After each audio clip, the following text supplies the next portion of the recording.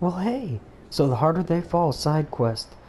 Uh, you basically go down into the morgue. You find out that Dr. Tippets done goofed.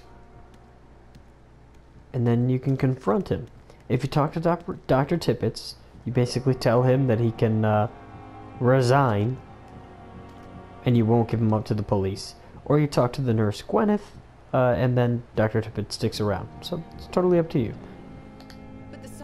But I'm going to tell him to resign. I will cover for you, Dr. Tippets, by keeping what happened to Mr. Connor to myself. I... I don't know what to say, actually. I can't exactly force you to become my accomplice. You didn't force me. This is my decision to make. I believe you're still of use to the hospital, considering the situation. Then I can make you this promise. As soon as the epidemic is eradicated, I will resign. So either way, he sticks around. Goodbye, Doctor. But there you are. The harder they fall.